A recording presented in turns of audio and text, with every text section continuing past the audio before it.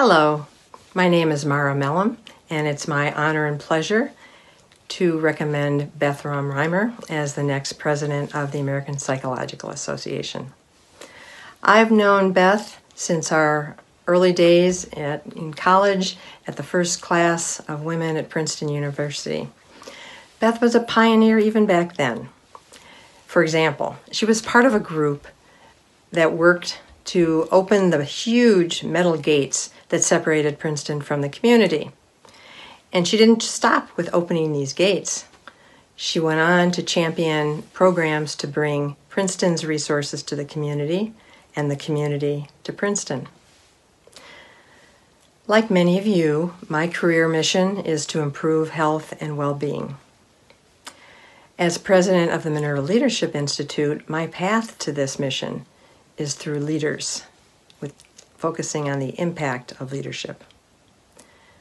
As you know, the challenges in healthcare and in our society today demand strong leaders. It's time for visionary leaders who excel at change.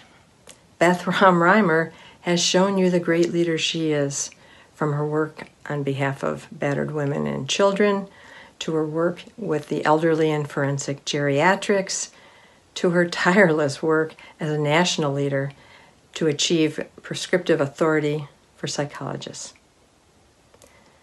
Three traits stand out in Dr. Rom-Rymer's leadership. Number one, visionary. Her vision is big. Her vision is to harness APA as a vehicle to address major societal challenges facing us. Number two, dedicated. She will go way beyond words and plans to execute and get results. Number three, collaborative. Think of this campaign. This campaign has been about you. Almost all of the segments I've seen have featured you and your work, with Beth honoring you. In other words, she will reach out to you, she will listen to you. She will respect you. She'll seek out ways to find common ground to shared goals that you will work on together.